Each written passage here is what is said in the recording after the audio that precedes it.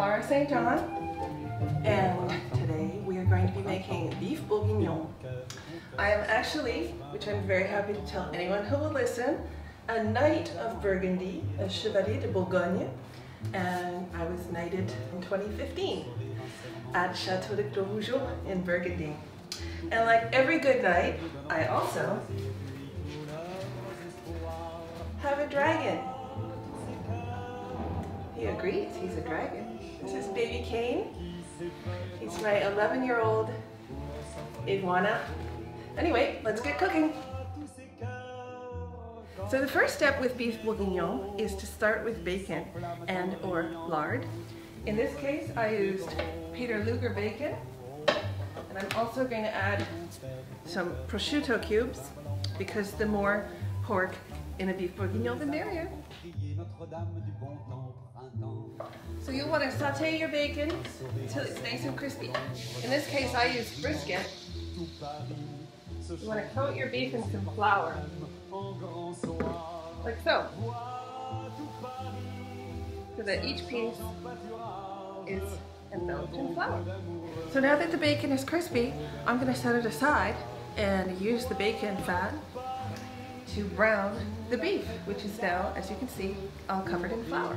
So this part can be a little time consuming if you're doing as much as I am, because um, this beef bourguignon is going to feed at least 10, possibly 15 New York musicians.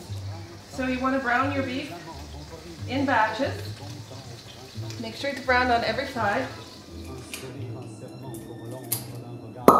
This is a burgundy glass. You can see the size of it.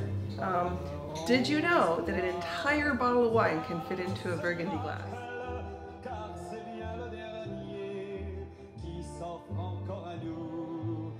Actually, I need a little refill.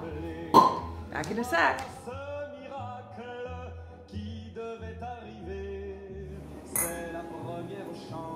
Here's my last batch. I brought out my cauldron pot, because that's what it's going to take to make this much beef bourguignon. So you can remove your beef that you have seared on all sides and put it in a large bowl with your bacon. This is how your beef should look.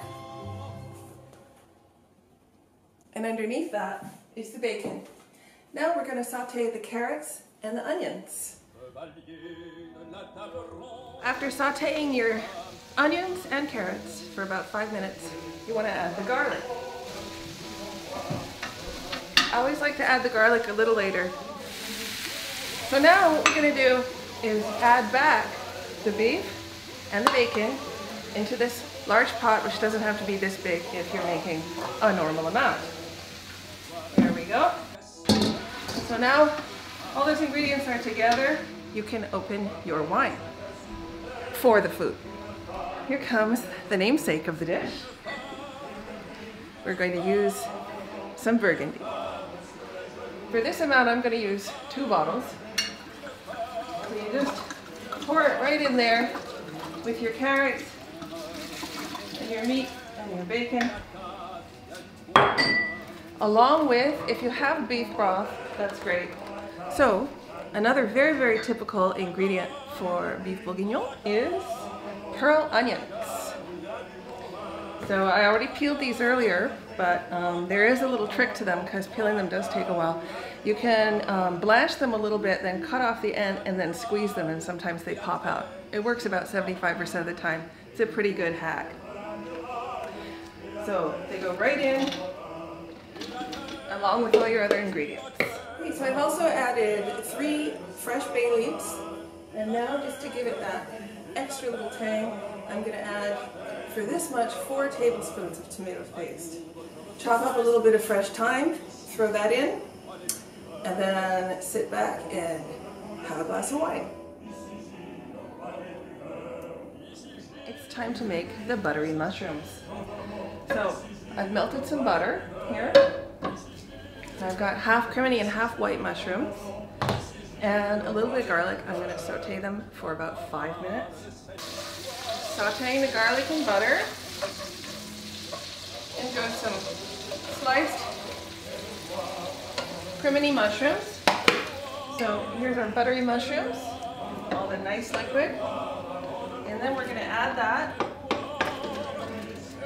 our finished product, beef bourguignon. Hope you enjoy some in your house.